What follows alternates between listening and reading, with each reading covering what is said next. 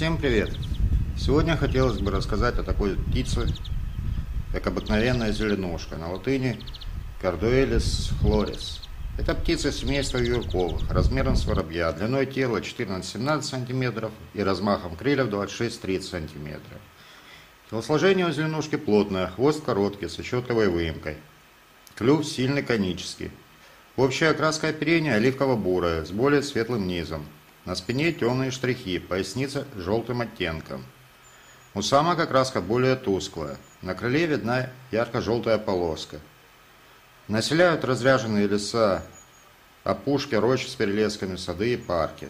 В северных частях ареала перелетная, на юге оседлая птица.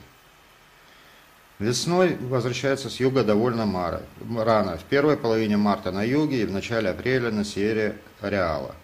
Вскоре распадаются на пара. В это время можно наблюдать токовые полеты самцов. Питаются как растительными, так и животными кормами. Летом преимущественно в основном насекомыми, жуками, муравьями и тому подобное. Во вторую половину лета и осенью ягодами, почками, семенами травянистых растений – Форма полета немного напоминает полет летучей мыши. По земле прыгает с помощью обоих ног. Летит быстро и совершает дуги в воздухе. Перед приземлением некоторое время парит. Для пикирующего полета резко взлетает, крутит на довольно большой высоте несколько кругов, с прилегающими крыльями устремляется вниз. В природе доживает до 13 лет. Петь начинают ранней весной на кочевках. Наиболее активно поют в апреле-мае, затем временами все лето. Песня состоит из неторопливого чередования разнообразных звонких трелей и щебетаний, из которых наиболее выделяются жужжащие джуи или жуеву. Кроме того, в песне есть характерная раскатистая, состоящая как бы из круглых бусинок трель. Атакующий самец садится на вершину дерева, громко поет и временами с песней взлетает в воздух, где, распустив крылья и хвост, некоторое время парит планирующим полетом, а затем вновь опускается на прежнее место или по соседству. После образования пара самка приступает к постройке гнезда, которое обычно помещается невысоко на дереве в развилке ветвей на высотах от полутора до 4 метров, хотя бывают и на высоте до 6-8 метров. В основе гнезда всегда есть помост из большего или меньшего числа тонких веточек. Само гнездо в виде не очень аккуратной толстостенной чаши, но довольно прочное, сделанное из мха, корешков, травы, растительного пуха. В лоток кладут тонкие растительные волокна, травинки и шерсть, иногда перья. Кладка состоит из 4-6 яиц бело-сливочного цвета с крапинками. Размер яиц 17-24 на 12-16 мм. Насиживает одна самка в течение 12-14 дней. Самец носит самке корм. Вылупляются из яиц птенцы голые, слепые. Но скоро начинают быстро расти и в возрасте 13-14 дней вылетают из гнезда. Птицы выкармливаются как насекомыми, так и семенами, предварительно размягченными в зобе. Выкармливают их оба родителя. Через неделю после оставления гнезда хорошо летающие молодые птенцы переходят к самостоятельному образу жизни, а старые птицы приступают ко второй укладке. Выводки объединяются в стайки и начинают кочевать. Постепенно кочевки эти расширяются, и в сентябре начинается осенний отлет в северных частях ареала. Теперь интересные факты про зеленушку.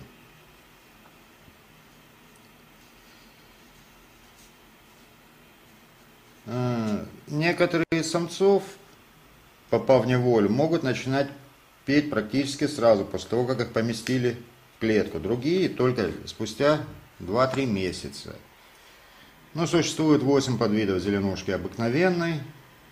Когда-то они были успешно завезены из Европы в Южную Америку, Австралию, Новую Зеландию. В России зеленушек называли лесными канарейками – Отличительной чертой гнезд зеленушки является грязь.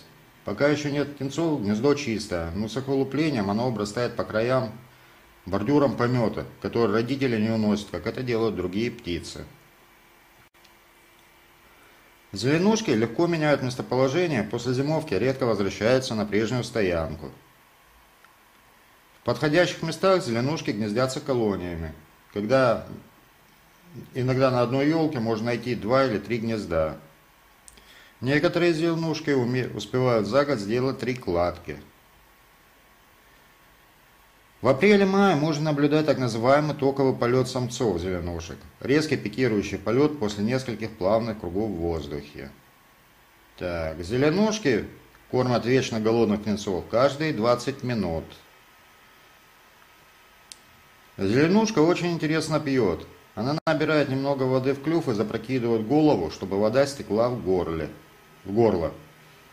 В начале 20 века этот вид причислялся к редким птицам, нынче обычно пролетный. Главными врагами зеленушек считаются вороны.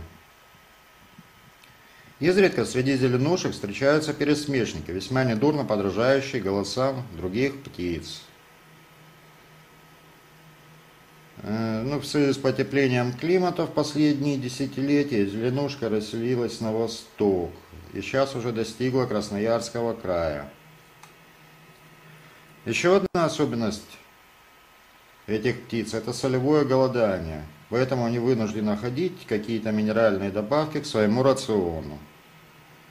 На Дальнем Востоке, в Уссурийском крае, обыкновенная зеленушка замещается довольно близким к ней видом – китайской зеленушкой. Кстати, на английском языке, по-английски зеленушка звучит как greenfish, переводится зеленый зяблик. Да, с названием зеленушка есть еще рыба, муха, бабочка и гриб. Известны гибриды зеленушек с канарейками, щеглами, коноплянками, чижами. Причем многие гибридные особи с канарейками и коноплянками плодовиты. Интересно, что звук жжи, который обычно является элементом песни, в виде отдельного сигнала издается самцом во время беспокойства у гнезда. В июле зеленушки довольно часто прилетают на приусадебные участки за семенами ирги, которые они выедают из ягод, не срывая их с веток. Ну, на сегодня все. Подписываемся, комментируем. В следующий раз я вам расскажу об еще одной птице с названием грибов, гриба.